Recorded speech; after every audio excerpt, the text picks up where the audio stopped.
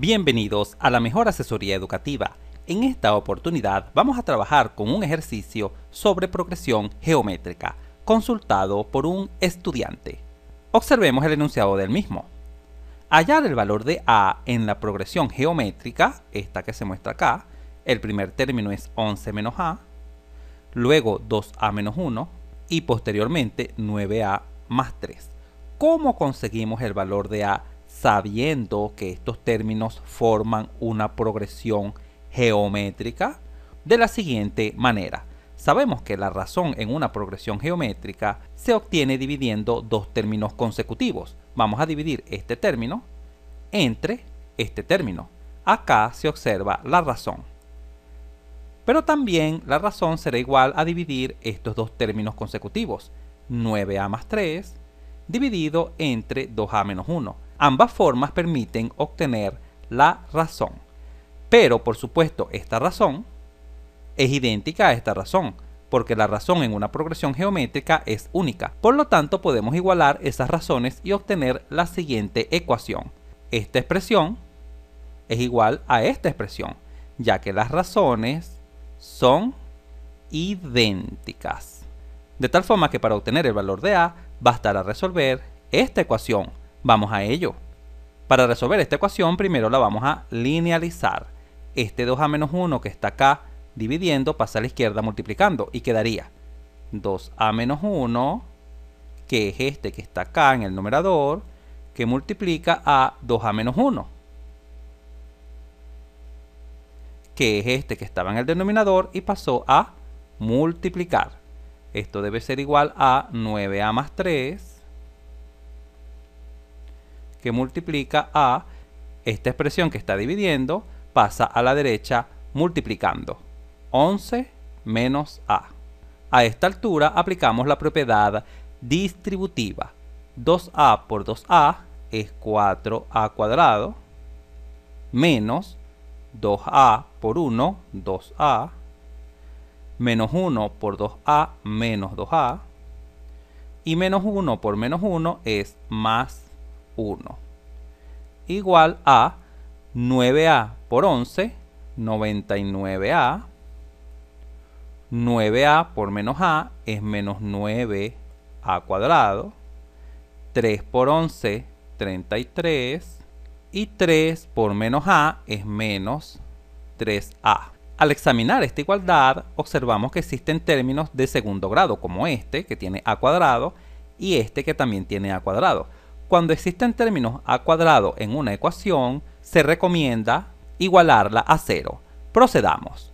4a cuadrado, que está de este lado, vamos a escribirlo acá, y este menos 9a cuadrado que está negativo pasaría a la izquierda positivo más 9 a cuadrado. Menos 2a menos 2a es menos 4a. Recuerda que signos iguales se mantiene el mismo signo y se suman. Este 99a que está positivo pasa a la izquierda negativo, menos 99a. Y este menos 3a que está negativo pasa a la izquierda positivo, más 3a. Y el término independiente sería 1 más 1 y este 33 que está positivo pasa a la izquierda negativo, menos 33. Y por supuesto esto debe ser igual a 0. Procedamos a sumar términos semejantes. 4a cuadrado más 9a cuadrado son 13a cuadrado. Menos 4a menos 99a más 3a son menos 100a. Y 1 menos 33 es menos 32. Igual 0 hemos llegado a una ecuación de segundo grado. Por lo tanto, debemos aplicar esta fórmula, que es la resolvente para una ecuación de segundo grado. Pero para aplicar esta fórmula debemos saber quién es A, B y C. En este caso A, vamos a llamarla A mayúscula para no confundirla con la A minúscula, que es la incógnita que estamos calculando. En este caso A vale 13. A siempre es el coeficiente del término de segundo grado. B es el coeficiente del término de primer grado, que es este, debido a que a está elevado a la 1, por eso es de primer grado. ¿Cuánto vale b? b vale menos 100. Y c es el término independiente, que en este caso es menos 32. c es igual a menos 32. Procedamos pues a sustituir estos valores de a, b y c en la ecuación de segundo grado. Vamos a colocar de nuevo la fórmula de la ecuación de segundo grado acá en pantalla. Menos b, este es el menos de la fórmula, mucho cuidado. Y b vale menos 100, más y menos b cuadrado menos 4 por a por c, como c está negativo se encierra entre paréntesis, dividido entre 2 por a, pero a vale 13. Muy bien, vamos a proceder a operar en esta expresión para obtener los valores de a. a será igual a menos por menos da más, serían 100, más y menos, menos 100 al cuadrado es 10.000, menos por menos es más, 4 por 13, 52 por 32, 1664, la raíz cuadrada, sobre 2 por 13, que es igual a 26. Esto será igual a 100 más y menos. 10.000 más 1664 son 11.664.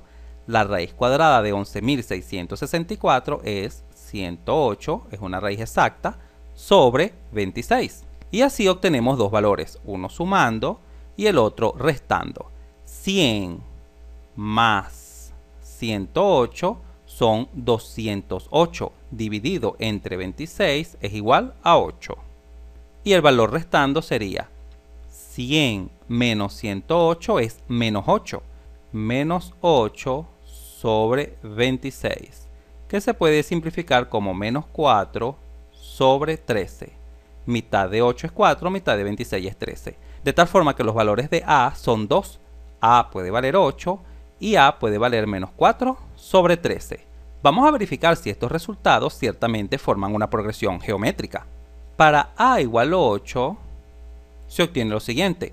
11 menos 8, acá está. 2 por 8 menos 1, acá está. Y 9 por 8 más 3, acá está. Al operar se obtiene 11 menos 8 es 3, 2 por 8 es 16 menos 1 15, 9 por 8 72 más 3 75. ¿Cuál sería la razón de esta progresión geométrica? Sería dividir dos términos consecutivos, 15 dividido entre 3 o lo que es lo mismo 75 dividido entre 15. Acá lo visualizamos. 15 entre 3, que es igual a 75 entre 15, es igual a 5. La razón de esta progresión geométrica es 5. Y efectivamente, 5 por 3, 15. 15 por 5, 75. Se visualiza claramente que ciertamente para a igual 8 se forma una progresión geométrica. Finalmente, para a igual menos 4 sobre 13 se obtiene lo siguiente. Como a está negativo, al multiplicarlo por este menos, genera este signo positivo, ya que menos por menos es más. Así, 11 menos a es igual a 11 más 4 sobre 13. Acá sería 2 por a menos 1. Acá se visualiza. Como a es negativo, se genera este signo negativo. 2 por a menos 1. Y finalmente 9a más 3. Pero como a es negativo, se genera este signo negativo. 9 por a más 3. Al realizar las operaciones se obtiene lo siguiente. 11 más 4 sobre 13 es igual a 147 sobre 13 menos 2 por 4 sobre 13 y luego restarle 1 genera como resultado menos 21 sobre 13. Finalmente, menos 9 por 4 sobre 13 y al sumar 3 se obtiene como resultado 3 sobre 13. ¿Cuál sería la razón en esta progresión geométrica? Dividir dos términos consecutivos, bien sea dividir este entre este, tal como se visualiza acá, o dividir este entre este, tal como se visualiza acá. En ambos casos llegamos al mismo resultado, menos un séptimo. Esta es la razón en el caso en que a valga menos 4 sobre 13. Y es sencillo verificar que si tomas esta primera fracción y la multiplicas por menos un séptimo, se obtiene esta otra fracción. Y si tomas esta fracción y la multiplicas por menos un séptimo, se obtiene esta otra fracción. Verificándose así que ciertamente esta es la razón de una progresión geométrica. Si este video te fue útil, suscríbete a nuestro canal, así nos ayudas a crecer. Si te gustó, dale un like y si conoces a alguien, algún compañero, amigo o familiar que le pueda servir esta información, por favor compártela.